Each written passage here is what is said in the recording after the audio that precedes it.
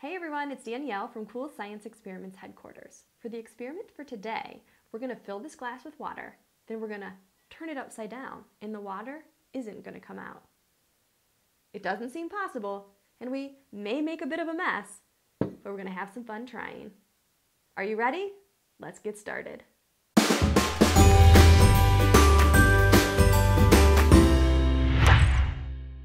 Like I mentioned, for this experiment, we're going to fill this glass with water.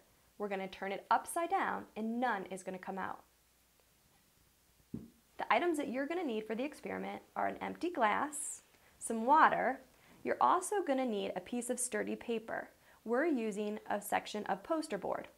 The paper must cover the entire mouth of the glass. You also will likely want a container just in case there's any accidents.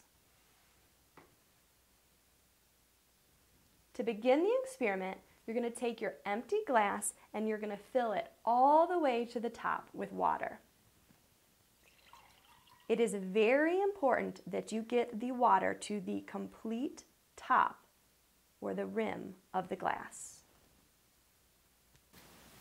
So let's take a closer look just to make sure the water is to the very top.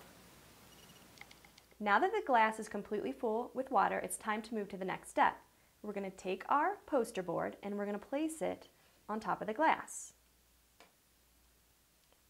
Now I'm going to slowly pick up the glass and have my daughter put the container underneath. Now I'm going to place my hand just gently on the paper and turn it over and then remove my hand and let's see what happens.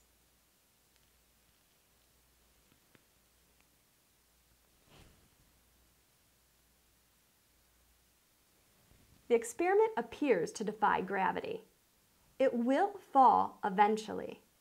But can you tell me how we were able to get it to stay even for a little while?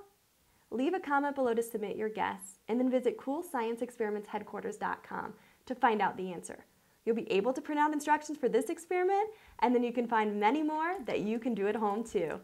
Thanks for watching everyone and we'll see you next time.